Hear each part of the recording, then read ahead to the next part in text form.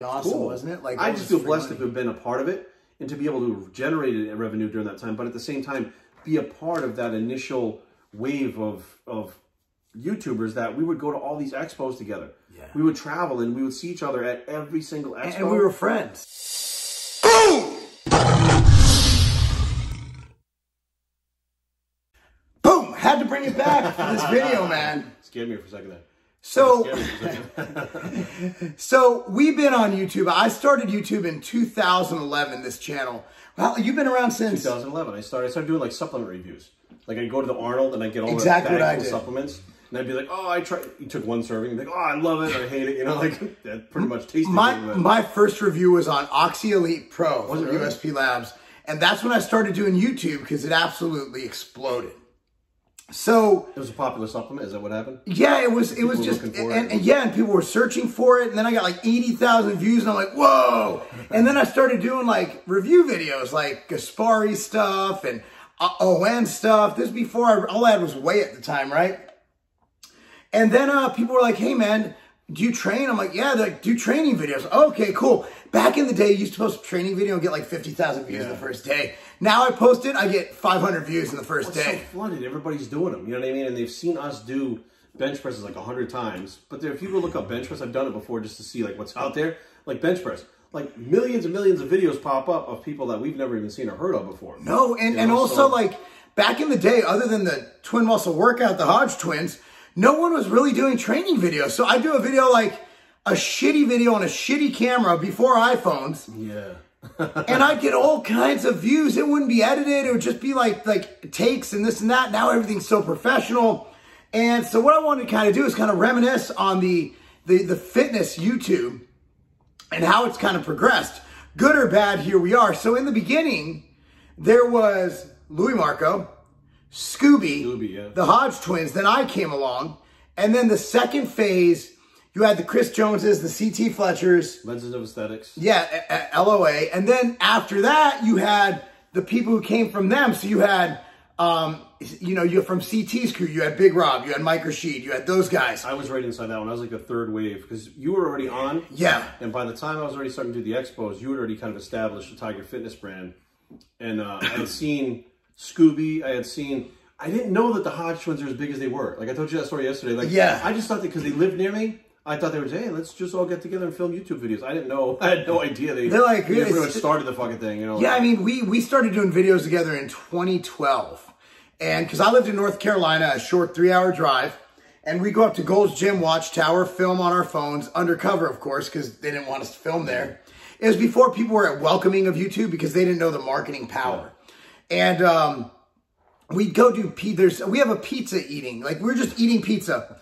That's all we're doing. We're just eating pizza. We're, we're having a conversation eating pizza. It's got like 400,000 views, you know? And then it was like, then I started competing a little bit more and I did the pro card thing. And, you know, so for me, and then the channel progressed as we kind of, you know, we developed as human beings. So my channel's not the same as it was then. And I think a lot of reasons why I've so, and I never bought subscribers. I don't know about you. I'm pretty sure you didn't. I wouldn't even know how, I, I think I get those emails from those random like Indian companies. So I didn't get them for YouTube. I got them for Instagram. Yeah, yeah, Like, but I think they're the same guys. They all of a sudden one time I put up this picture and it got like four thousand likes in two minutes. Oh, wow. And I was like, wow, that, it was like oh, the Undertaker, right? And I'm like, well, everybody just loves the Undertaker, Who doesn't love the Undertaker? And then I got a DM like later on that day, and they were like, hey, look what we did for you. And I'm like, what? I realized that the company had dropped a bunch of likes on it. they were trying to sell you on it. So I'm like, fuck, to keep integrity, I got to go take that post down because I can't leave it up. Yeah. So I took it down and then fucking wrote a post about why I took it down and then reposted it again just to get rid of that shit. So yeah. I get accused of buying subscribers because my likes or my, my views don't match my subscribers. Here's my theory. A lot of my subscribers came before 2015. And a lot of these guys are now in their 30s, but they didn't cancel their YouTube account. Yep. So I'm subscribed to a lot of channels I don't even know about anymore. I don't even know they exist. So what happens is these guys aren't on YouTube.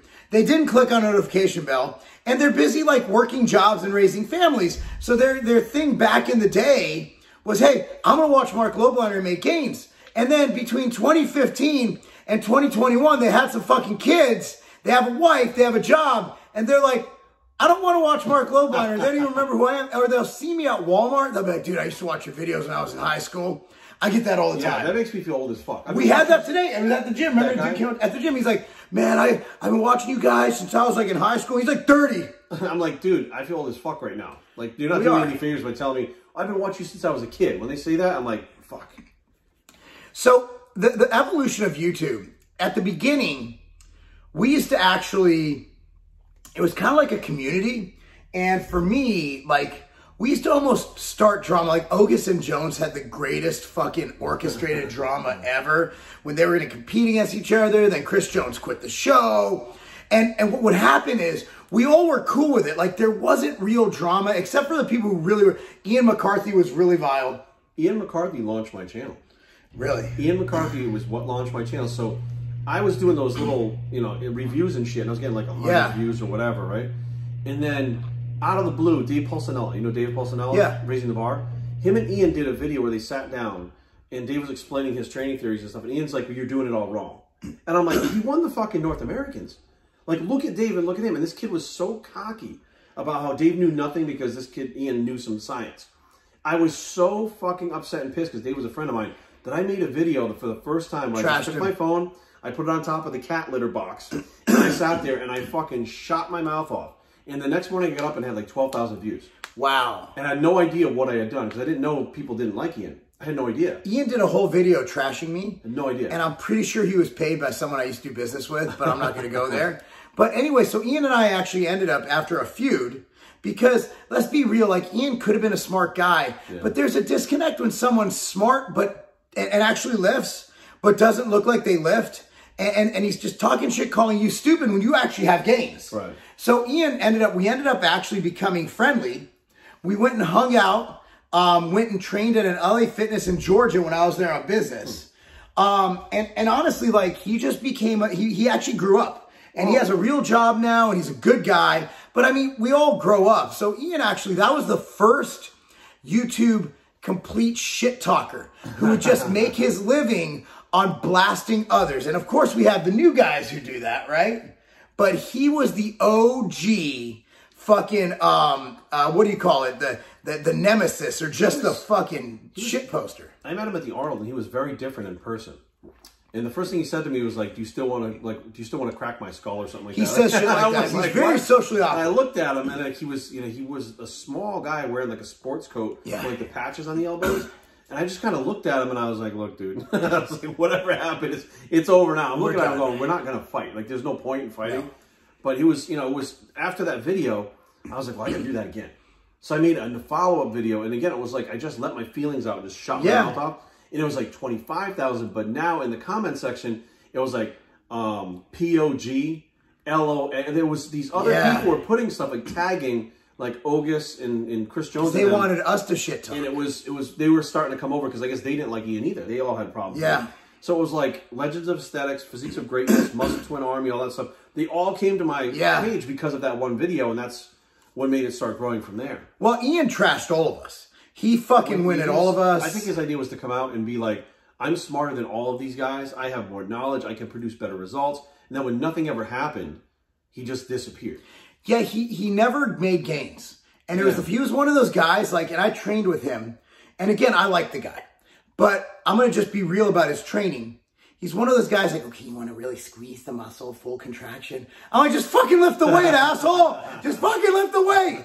And so, you know, Ian was one thing. Now, I um I think we can't go this video without mentioning somebody that we hold near and dear to our heart, who I had no idea was still on YouTube, and he probably doesn't even know I'm still on YouTube. And that's Jason Blaha. Ah. I was like, who's he talking about? Yeah, okay. Yeah, yeah let's mention him. Jason used to do a video a week. I got a video a why I day. suck. Oh yeah, I got a video a day where he would fucking come after me like the most absurd shit. he would say he would say things about my marriage, about infidelity, about crazy shit, and I'm like, he had no boundaries whatsoever. no boundaries. He'd go after your your religion. He'd go after whatever it is. Call me Jew boy or shekels or whatever they used to call me. Jew Jewliner. You call you Jewliner. now that's a funny one. I like Jew Might line. actually hold on to that one, right? Like, I might actually put it on the back of a football jersey. And then you had Order 66, which Ooh, I've been a Noah. part of a few times. Jason Genova, who's still kicking around, right? Does he still do stuff on the internet? So this is what I understand. I met Jason before. Really nice kid. Honestly, Same, I had I mean, a good time meeting him. I met his not a bad kid. Met the Misfits, you know, Big Lenny and all those guys, great guys. And um, I think Jason, what I you know, from what I understand through the Misfits, because the Misfits kind of like talked about a little bit online, he kind of got in some trouble where his trolls went after like his uncle or something like that, and it really Ah. actually was messing with his business. Well, he also sent a death threat to my house in one of his did. followers. And it really, really cost me a lot of money. And it really cost me a lot of stress. So I'm not a big fan of Jason because of he actually, he might not have known he was doing this, right?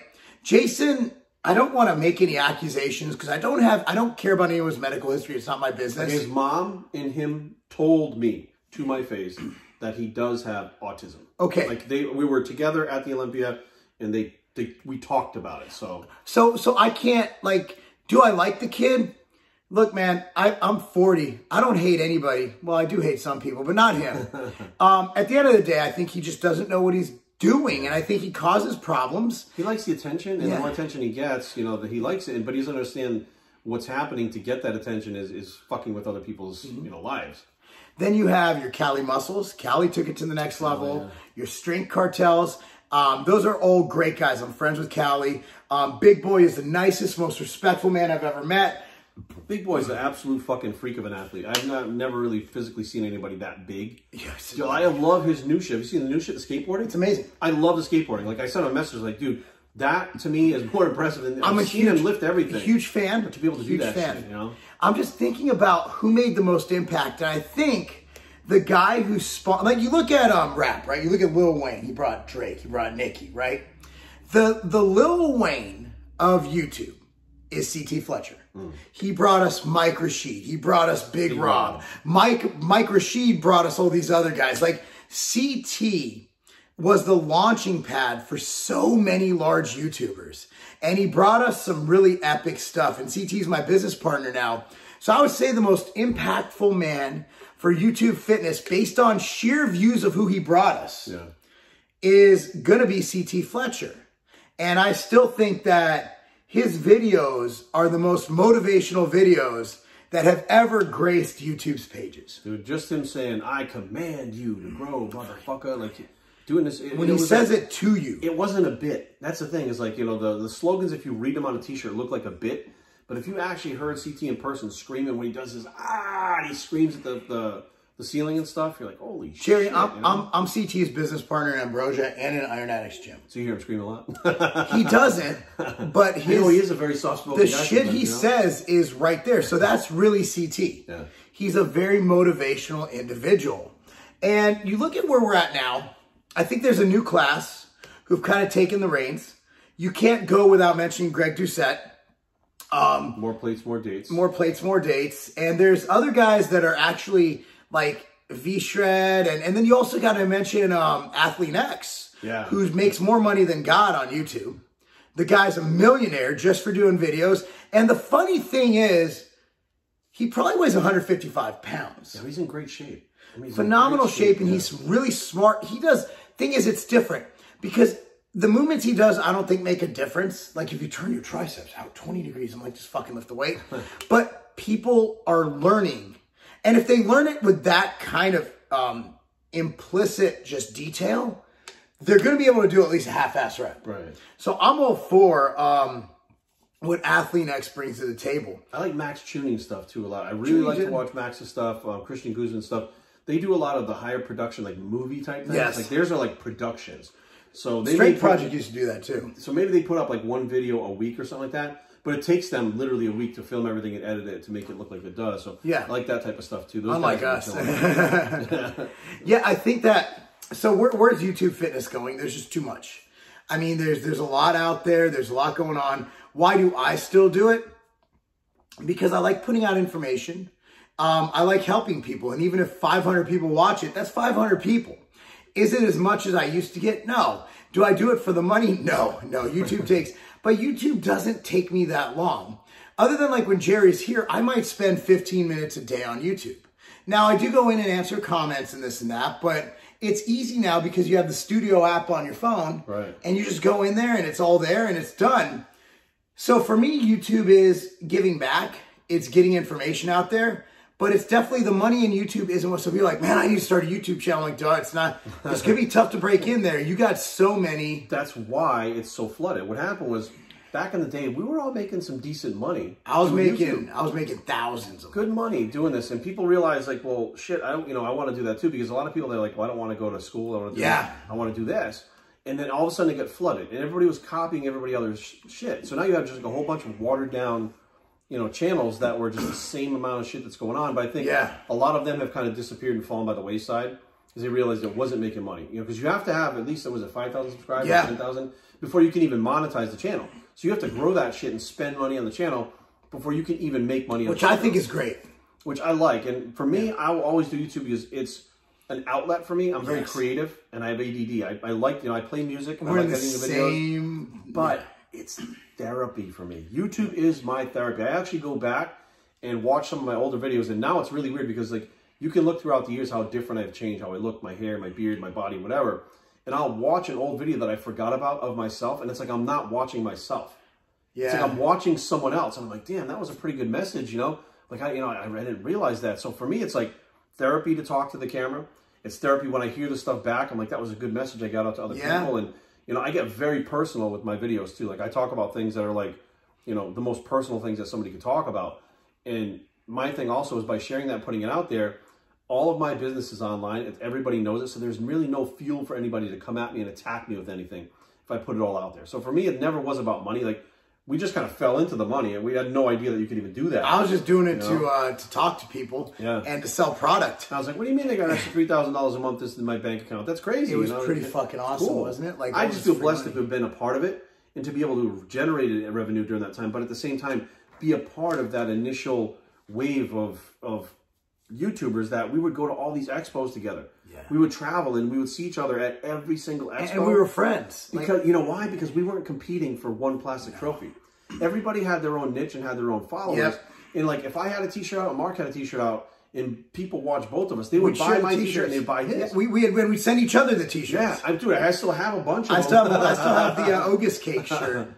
Um, it's it's it's ratty. I, I wore it to bed a few a few years, but you know where do I see YouTube going? Um, where it is now, I think it's going to continue to evolve, and you're going to see new people come in. Like you know, kind of like ten years ago, we were the thing, or five years ago, or six years ago. Then you have the new school, the more plates, more dates, the Greg Doucette.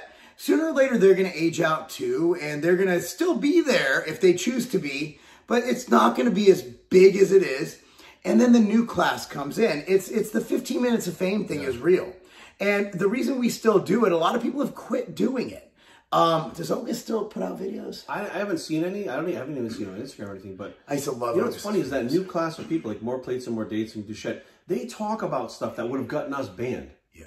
Like they talk. Oh, and don't, don't get me wrong. We talked about steroids and stuff like that. But We did. I Very put up overt, a video. one of my first favorite videos I put up was I was in Mexico when Lance Armstrong got busted. Yeah. and I made a video down in the pharmacy because he was busted for propionate suspension, and I was showing the different things that he was busted for. You take it down? And at the same time, I was like, well, this is what other uh, steroids are. I was explaining what this stuff was because it was 100% legal. I was in Mexico.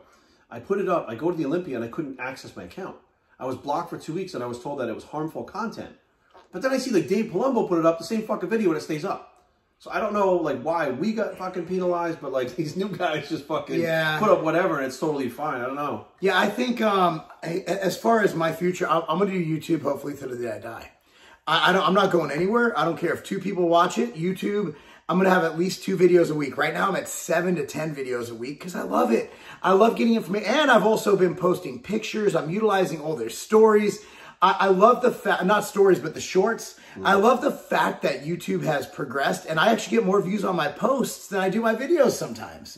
And it's a, it's an ability, like instead of having to upload a video, because my YouTube followers are different than my Instagram followers, are different than my Facebook followers, are different than my Twitter followers. So people follow me on YouTube might not have me followed on the other accounts. So when I'm getting ready for a show, or right now I have the 312 days out thing, um, dude, like I'm able to post pictures daily instead of a weekly video. So I'm able to interact with these motherfuckers on every day. YouTube or something like that now? Have posts. I'll show it to you. Fuck, I'm behind the times. Jerry, you're Shit. old. Because I'm five And, and another thing is, here's what I want to say. And you guys know I'm religious now, right? And if you don't know, now you know. Um, I would like to say one of the biggest blessings in my life is social media. Because of social media, I'm getting goose pimples, like you can tell because I shave everything, is through social media, I've met Jerry. You know, Jerry's one of my best friends now. I wouldn't have known this man. We wouldn't be mm-hmm. hanging out. We wouldn't be able to, if I have problems, I wouldn't be able to email him for help. You know, I wouldn't know Chris Jones, who's my business partner. I wouldn't know Mike Rashid. Mike Rashid and I make tens of millions of dollars a year together. YouTube has enabled me to meet Mike Rashid, Sean Torbody, who I knew before internet. But our dude Ambrosia's crushing it. We're an eight plus figure company, all because of YouTube, not because we did videos together, but because we met. Yeah. It's like an online fucking dating site. So utilize it for the connections, the Hodge twins, right? Like these guys, CT Fletcher, he's my business partner. Think about it. I'm business partners with Chris Jones. We make a lot of money together. I'm business partner CT Fletcher. We own a gym and a company together. Mike Rashid, a gym and a company together. I mean, I can go on and on and on about the blessings that have come from YouTube.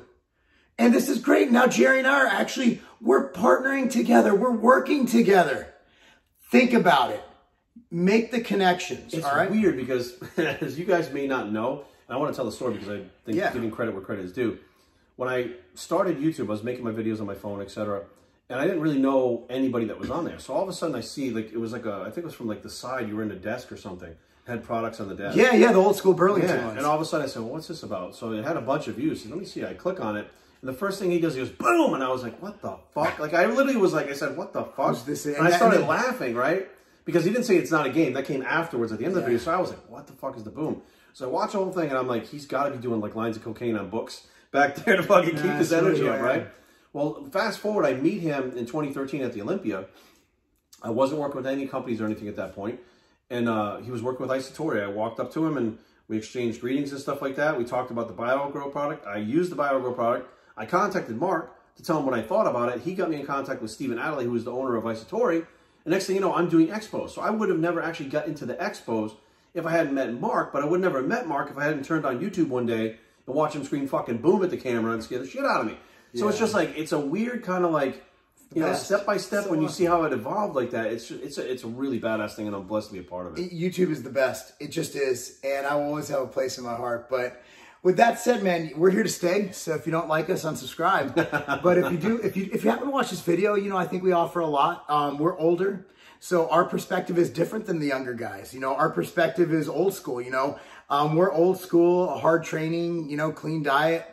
You know, um, Some of us train hard, but you know, well, I mean, I wait five years. We'll see how it is. But yeah, so anything you guys need, Jerry, where can they find you, man? at bioctraining.com and all my social media, Training, Jerry Ward. If you plug that in anywhere, it's going to pop up. Yeah, and uh, again, we really appreciate you guys watching, and hopefully, you guys um, who haven't seen the prior videos we've done together understand that you know anything we had in the past is squashed. But look out for those other videos. If Yeah. you haven't seen them, go look for them. Yeah, yeah. I'll you know I'll just I'll put a playlist. They're on a, they're- actually this video is a part of a playlist called Jerry Ward. Oh, shit. And I already made the playlist, so I will put this in there. So click on. I think there's some button for that. I I don't know. But anyway, guys, thanks for watching. Follow Jerry. Thank you so much. I'm Marc Lobliner. That's not a game. It's not a game. What's up, Tiger Fitness Crew? Jerry Ward here from GIFT Labs, and we're here today with, of course, Marc Lobliner to tell you guys about Delparol. So Delparol is an anti-anxiety product that I created because me, myself, I actually was born with anxiety, and I've lived with it my whole life. And I was always looking for something to take off that edge, so it just made my day a little bit better, and I could just stay calmer. And uh, CBD worked really well for a while. Very expensive price tag. I knew there had to be a better option. That's where Delparol came in. So when I created Delparol, there are tons of different studies and information out there, which you guys can check yourself. An amazing product that helps you stay level. You, know, you can still get excited, you can still get upset, but it brings you back down to baseline very quick. And it also helps you just have an overall better sense of well-being throughout the entire day. So if you guys are looking for an anti-anxiety product, a well-being product, Delparol is the product for you guys. And I take it myself. I love it. And I've been taking it, of course. So, you mm, know. Of course.